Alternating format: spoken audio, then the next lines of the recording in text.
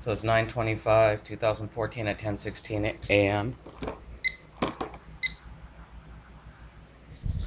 So I'm going to show you one more time angles and how if everybody else has has the ability to park their vehicle and freely move it in and out without any impediment, obstructions, delays, then so should I. So once again, you have all these vehicles. They can easily move out down this drive right here. So this car gets in, can, you know, do a little bit of maneuverings and then get out, okay? This is the drive right here.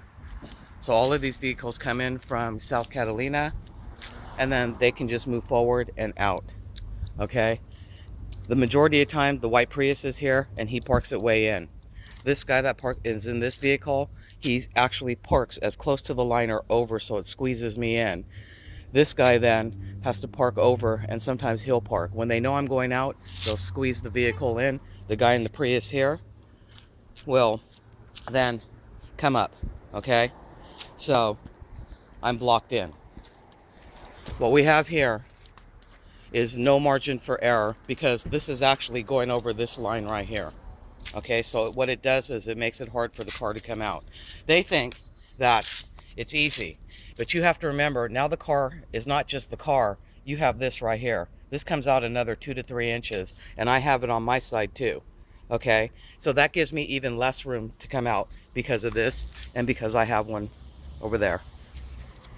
When you look at the angle from his vehicle to mine, and you look at that and you look at mine, I have less than a couple inches to be able to back my car out.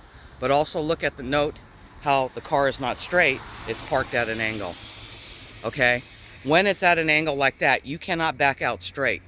And then you have to remember, because of this grid bar right here, because of this grid bar right here, I have even less room because it brings it in even a couple more inches. So you have these rear view mirrors. So that now brings the vehicle out another three inches on each side. So that gives me even less room to come out. This guy is parked at an angle. So I couldn't even come out straight because number one, the rear view mirrors will touch. And number two, he's at an angle. I don't have any room to maneuver to the right to get the car out because you still have to get it out this side over here. Because I'm so blocked in over here, I can't get it out.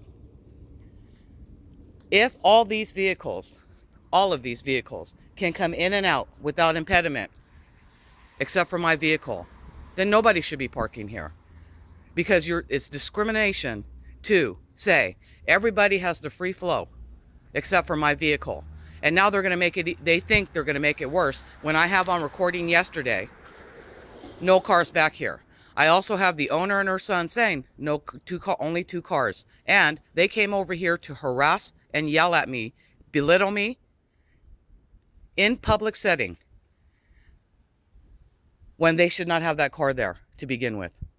The bottom line is if all the other tenants who park their vehicles can free flow in and out, whether it's backing out into James E. Woods or moving out into South Catalina, but I can't, then we have a we have a problem with dis discrimination, retaliatory harassment because all these people say they don't want you here in this building. So therefore, the owner, property owner, along with these residents will come together to make it as inconvenient and hostile as possible. It's not as simple just backing out because you have to remember you have this here, which brings it out, and then you have mine over here that can't move because it's in. That means that I have even less room to come out. Less room because it comes out to this point and it comes out to that point. So now you're not talking about all this extra space that they think you have. You have even less room because of the rear view mirrors. They know it and so do I. But they're doing it because they want to create provocation, they want to create drama, and they're harassing. It's retaliatory hate crimes. California street terrorism is what is transpiring. So once again, here's an angle. You tell me how easy it would be for a car to get out with two rear view mirror, my rear view mirror and this guy's front rear view mirror. You can't. And then remember, you would still have to back it out and then you would have to try to move it forward. You don't have any room to move it because you're blocked in right here. So instead of saying they think it's so easy, now you look at it from the real perspective of someone trying to back their vehicle out. No, it's not. You have less than a, an inch or two to try to get your vehicle out. So once again, under discriminatory practices, if all other tenants who park can easily move in and out, okay, then that means that so should I.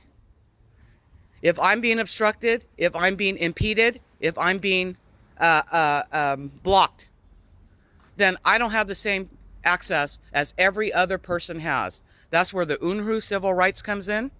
That's where the Bane Act comes in because these are orchestrated hate crimes and harassment. I'm done.